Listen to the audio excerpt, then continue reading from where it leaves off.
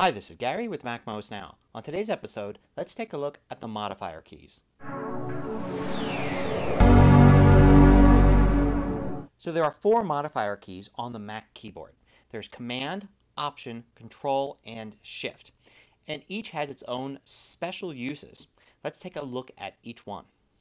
So the Command key is usually to either side of the spacebar, and it has a special symbol on the key, which is also commonly used in documentation. You also see the word command on it. This key used to be called the Apple key because earlier Mac keyboards used to have an Apple symbol on it as well.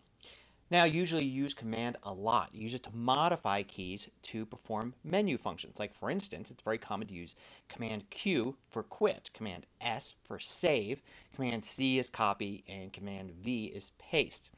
And there are other commands that you'll find that are used throughout all sorts of different applications, and some applications have their own special ones. If you look in the menu bar at different menu items, you'll often see different shortcuts for different commands, and you'll see this command symbol there.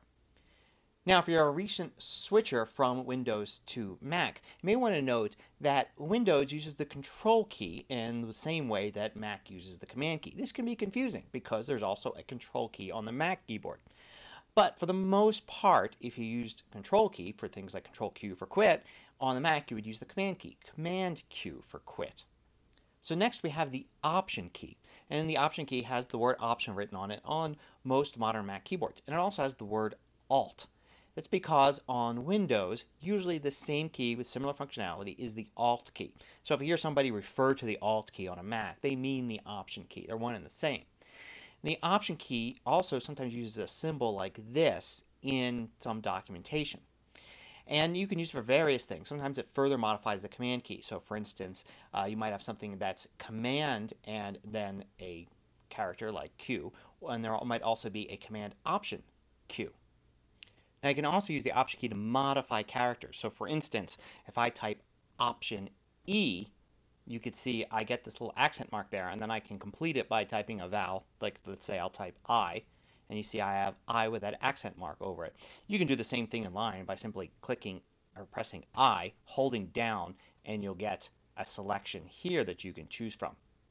As a matter of fact, you can go into System Preferences, and under System Preferences, select Language and Text.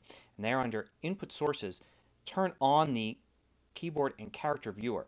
That gives you this special menu right here that allows you to bring up, and you can just barely see it here, show the character viewer or the keyboard viewer. Let's bring up the keyboard viewer, and we'll see with this keyboard viewer here how if I hold the Option key down, I'm going to press it right now, you can see it changes what keys are available there. So it tells me, for instance, that the Q key will now give me that symbol. I can get a sigma with option W. And it will do the same for the other keys as well. So for instance, I hold down the shift key and you can see the characters there that are represented by shift. And later on we'll be talking about the control key and you can see I get various things. I'm holding down both the option and control here and I can hold down option control and shift and you can see what characters I get that way so you can see how these modifier keys modify text that you type very easily with the keyboard viewer so now we have the control key and the interesting thing about the control key is it's nothing like the control key on Windows that's the command key is similar to the control key on Windows so control is its own thing and you can kind of think of it as the second button or the right click button on Windows. You use it to bring up contextual menus. So for instance, here I am in the Finder, and I can select this file right here. If I control and click on it, I get a contextual menu, and you see there's a whole bunch of different things I can do. Depending upon the program you're using and what you're control clicking on, it'll bring up different things. They're called contextual menus because it depends on the context. In this case, it's a file in the Finder. It might be a photo in iPhoto, or it might be a clip in iMovie. There's all sorts of different commands, different things that are brought up depending upon what it is you are control clicking on. Using a Magic Mouse or even an Apple mouse with a right side click or even a secondary click on a trackpad, you can do the same thing here. So you can actually do this without the control key. But the easiest way sometimes is to just do a single regular click with the control key held down to bring up this contextual menu. And like with the option key, the control key can be used to modify commands. So you may have a Command A and you may have a Control Command A or even a Control Command Option.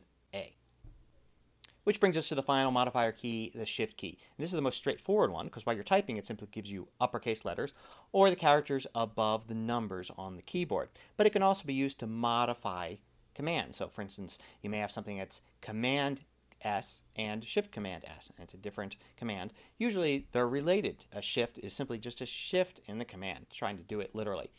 Sometimes this symbol is used to represent the Shift key uh, if you're reading documentation. So there's a look at the four modifier keys. If you hear somebody refer to modifier keys, what modifier keys do I need to use to access this shortcut? It's these four keys that they're talking about because simply they don't really do anything on their own. Normally on the Mac, if you press one of these keys by itself, it doesn't do anything. You have to then press a character for it to actually perform an action. So I hope you found this look at them useful. Till next time, this is Gary with MacMost Now.